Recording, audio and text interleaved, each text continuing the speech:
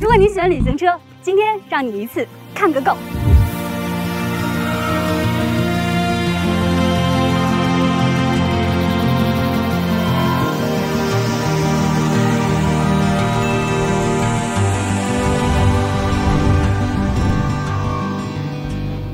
奥迪马冠名现在可以举手了。今天基本上所有车都在。简单跟大家先说一下 Avant 跟 Allroad 的区别。首先，在奥迪的体系当中，Avant 更像是一个规范的旅行车，而 Allroad 则是多功能旅行车。再来，第二点，形态上你会发现旁边的这台 Avant 像是一个小轿车长出了一个屁股，Allroad 则像是一个够低趴的 SUV 车型。第三点就是性能了。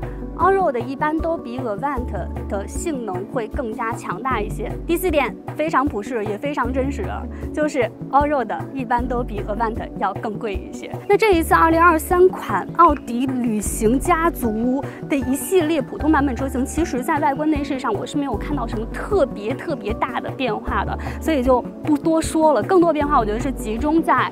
动力方面，比如说这一次 A6 Avant 以及 A4 Allroad 在动力上都有了非常大的提升，并且这一次 A6 Avant 还加入了四驱版本的车型，这个变化应该算是蛮大的。然后除此之外呢，这一次还增加了一个大冒险家的版本的车型，但今天没有看到。二零二三款奥迪旅行车家族总计十款车型，指导价为三十五点九八到六十三点七八万元，同时提供 Avant 和 a l r o a d 两种车型。A 四 Avant 二点零 T 一百五十千瓦七速双离合前驱，A 四 a l r o a d 二点零 T 分为一百八十五千瓦、一百九十五千瓦两种高低功率七速双离合标配四驱，提供六种驾驶模式。A 六 Avant 二点零 T 一百五十千瓦、一百九十五千瓦两种高低功率匹配七速双离合，除最低配外标配四驱。A 六 a l r o a d 三点零。一加四十八伏轻混二百五十千瓦七座双离合全系四驱。以上所有车型悬架形式皆为前后五连杆。我们今天还是把重点放在我身边的这台 a 六 auro 的身上为什么因为今天跟明天我们都会跟它相处很长时间我为什么会选择这台车呢？因为它真的是我身边太多男孩子的梦想了虽然到现在我也不是非常非常的能理解但是它摆在这儿是真的好看啊！而且这台车还选配了一个二十一英寸的轮圈，这台车比 A6L 轴距要短了将近十厘米。接下来我们看一下后备箱，打开后备箱，有一个亘古不变的话题，就是好多人问说，到底是旅行车的后备箱大呀，还是 SUV 的后备箱大？我觉得这个。就是没有办法比，因为 SUV 它可能后备箱是更高一些，但是旅行车的后备箱你会发现这个纵深特别长。我们今天放了很多东西，全部都放下了。毕竟是年度改款，所以在内饰的设计上它真的没有什么特别大的变化，并且现在这种三个屏好像也没有那么新奇了。另外，车机方面。外来的和尚真的念不好本土的经。你说这个车机系统去跟国产品牌比，那显然是没有那么符合我们的需求的，没有那么符合我们国人的需求的。但是，哎，该有的什么语音交互啊、车联网啊、CarPlay 啊都有。不过这些在我眼里都没有一辆车它的机械素质来的重要。所以接下来我们换鞋，出发。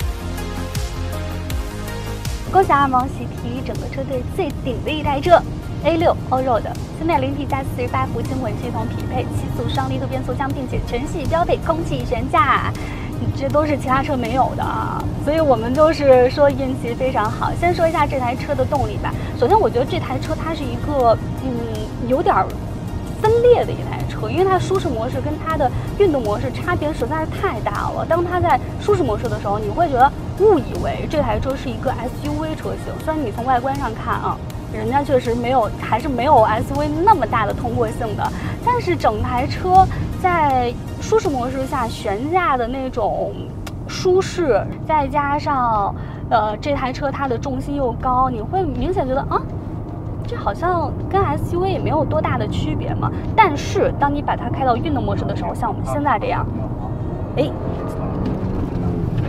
哦，提速还是非常快的。哇塞，刚刚那一脚给我出一身汗，所以它还真的是有一点点神经分裂的这种潜质的。其实四驱系统一直以来都是奥迪非常引以为傲的一个部分，确实也做得非常好。但是，啊，弊端也不是没有。你看一下我们后排这个大鼓包有多大吧。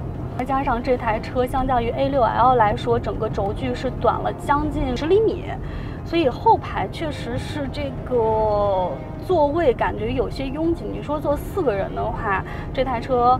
还好，但如果坐五个人的话，这台车就过于拥挤了。它的取向还是一个家用的车型，所以你看它的方向盘中间还是会有一些虚位的，它不是那种指哪儿打哪儿的那种精准的感觉。就相较于 A6L 来说，侧倾确实是会大一些。它是有 ACC 自适应巡航的。我刚刚在高速的时候也打开了一下这个 ACC，我觉得它无论是在拐弯还是在加速、在跟车这方面都做的还不错。它刹车动作做的非常果断，但是又。不会让你觉得突兀。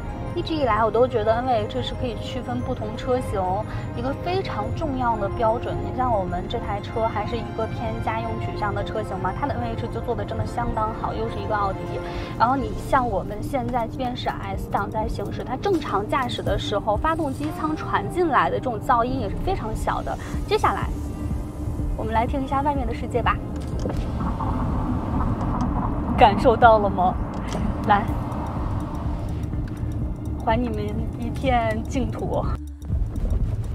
哦，我们现在正在越野，打开越野模式之后，第一个明显感受就是你们发现它扭矩感觉变大了。第二个感受就是这个方向盘变轻了，因为其实，在越野的时候，尽量，嗯，还是尽量少的把那些路面上的颠簸传进来会比较好，要不然你这个手得，可能这一路走下来，你手已经震麻了就，哇。轮胎也没有特地换成越野胎，但是抓地力真的挺行的。更多的应该是归功于这个四驱系统吧。只管踩油门，一切交给 Quattro。今天我们出发的时候，教练说：“哦，Q7 能走的路我们都能走。”呃，呃，这个就是有点夸张了。不应该这么说，应该说，嗯，有些 Q7 能走的路我们也是能走的，但并不是 Q7 能走的所有路我们都能走。简单总结一下吧，我们今天就是非常幸运拿到了一台非常非常全能的车型。其实这台车无论是跟 A6 Avant 还是跟 A6L 去对比的话，其实差别都挺大的，就它优势太明显了，就是非常非常全能的一台车。你说它有什么缺点吗？唯一的缺点就是。确实是贵不少。虽然现在我们真的很少有机会能够走出去旅行，但是正因为这样，我们好像更珍惜自由和旅行。而旅行车其实，在一众小众车型当中，也显得非常的分裂。你说它高调吗？显然是不高调的。但是你说它低调吗？一旦你开着旅行车出去，旁人都会暗暗的窥探你的品味。嗯，这台旅行车也在大声的告诉所有人，我可不一样。